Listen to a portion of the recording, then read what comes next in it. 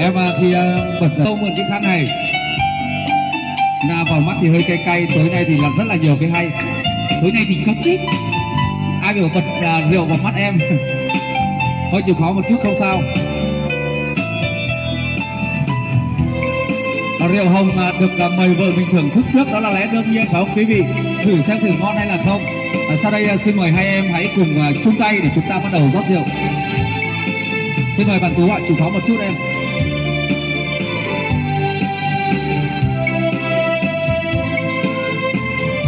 Đứng đứng xin chờ một chút đứng xin chờ một chút.